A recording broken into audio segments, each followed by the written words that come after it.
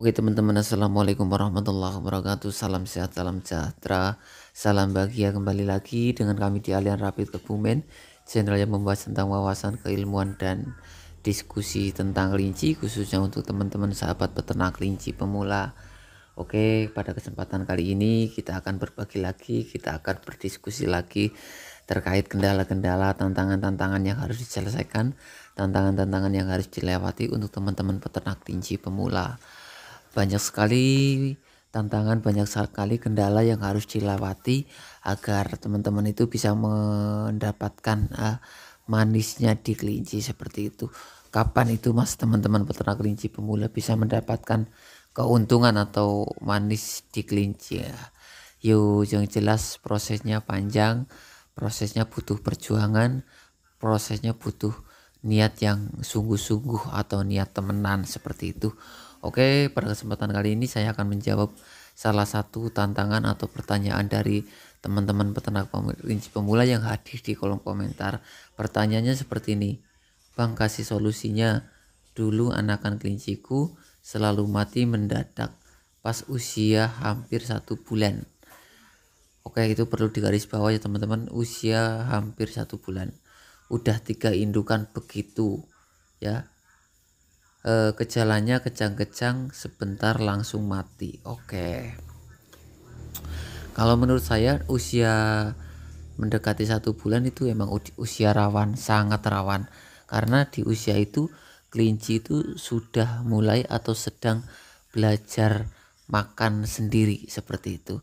Karena sebentar lagi dia akan kita sapih dari indukannya. Jadi di usia-usia seperti itu sudah keluar dari pok usia 2 hari. Nanti selanjutnya dia mencari makan sendiri apa yang ada disediakan di kandang tersebut. Bila mana kandang umbaran dia akan lari-lari ke sana ke sini cari makanan.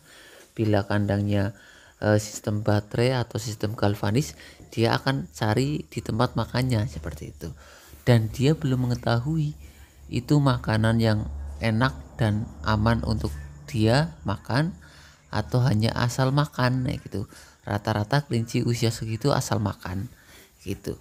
Lah yang sering terjadi itu dia asal makan kondisi perut atau kondisi uh, ususnya. Dia belum siap untuk mencerna makanan-makanan yang berbahaya atau makanan-makanan yang sifatnya perlu dicerna secara uh, proses panjang seperti itu. Sering terjadi kelinci usia seperti itu mencret kembung bahkan kematian mendadak seperti itu yang disebabkan oleh faktor makanan. Itu satu ya. Kita koreksi dulu faktor makanannya pakai apa itu. Oh ternyata makannya aman gitu. Uh, minumnya aman itu. Berarti kita cari ya penyebab yang lain. Apa ini kemungkinan dari faktor lingkungan?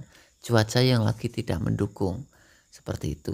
Lagi hujan atau lagi panas yang terlalu ekstrim. Itu pun bisa mempengaruhi kelangsungan hidup usia kelinci di usia tersebut. Seperti itu. Ataupun nutrisinya kurang. Dalam artian anak banyak 9 atau 10 ya air susu yang dikonsumsi kurang jadi kalsiumnya kurang. Itu bisa seperti itu teman-teman.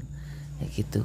Ataupun bisa karena lingkungan yang tadinya sepi tiba-tiba rame dia stres bising atau berisik bisa dia kejang-kejang dan mati. Seperti itu. Jadi banyak sekali faktor atau banyak sekali penyebab kelinci di usia tersebut mati mendadak dengan ciri-ciri kejang-kejang terus mati. Seperti itu. Jadi kita nggak bisa menjustifikasi satu penyebab teman-teman ya. Karena pasti di setiap kandang khususnya teman-teman peternak pemula itu penyebabnya beda-beda.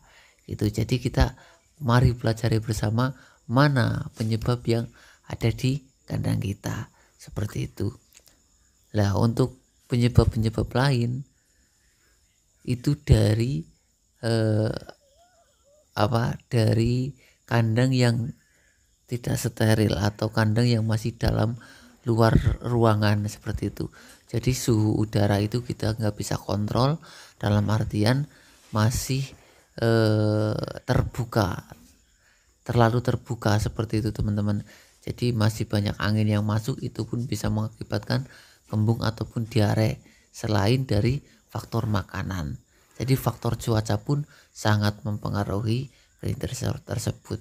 Jadi sudah berulang kali saya informasikan kepada teman-teman semua kalau bikin kandang itu yang standar seperti itu. Jadi nanti ke depannya itu tidak menimbulkan permasalahan, tidak menimbulkan eh, kendala-kendala yang yang banyak seperti itu teman-teman. Satu dua kita bisa antisipasi dengan cara yuk awal mula kita setar konsultasi dulu kepada teman-teman peternak senior yang sudah lama di dunia kelinci tersebut seperti itu agar nanti berjalannya waktu itu teman-teman itu tidak gampang drop tidak gampang menyerah karena banyak sekali kendala yang harus diselesaikan atau kita pelajari seperti itu. Tapi kalau teman-teman sudah memiliki mental karakter eh, yang benar-benar istiqomah benar-benar siap mengendali menge, apa eh, menyelesaikan segala kendala dan eh, rintangannya ya tidak ada masalah gitu. Kita evaluasi lagi kita evaluasi lagi. Tapi menurut saya bila mana di lingkungan atau di tempat panjenengan itu ada salah satu teman-teman ternak senior yang sudah lama kenapa kita nggak belajar dari situ gitu. Tanpa kita harus e, mengalami kesalahan atau resiko-resiko kerugian yang dialami kita sendiri seperti itu. Mungkin itu teman-teman ya informasi terkait e, penyebab kematian kelinci di usia satu bulan ya. Banyak sekali faktor ya. Dari faktor alam lingkungan makan kandang juga pengaruh. Jadi tinggal kita amati yang ada atau yang terjadi permasalahan di kandang kita itu mana ya.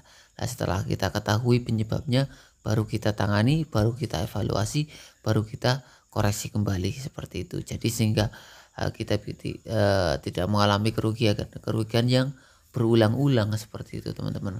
Bila mana banyak tutur kata perilaku sikap tingkah laku yang kurang pas mohon dikoreksi mohon dikritiki dan jangan lupa bagikan informasi ini kepada teman-teman yang membutuhkan agar sama-sama kita mendapatkan amal kebaikan, amal syariah dan e, saling berbagi seperti itu teman-teman agar sama-sama bisa mendapatkan e, apa ya hasil di kelinci seperti itu. E, akhirul kalam wabillahi taufiq walhidayah. Assalamualaikum warahmatullahi wabarakatuh. Terima kasih teman-teman.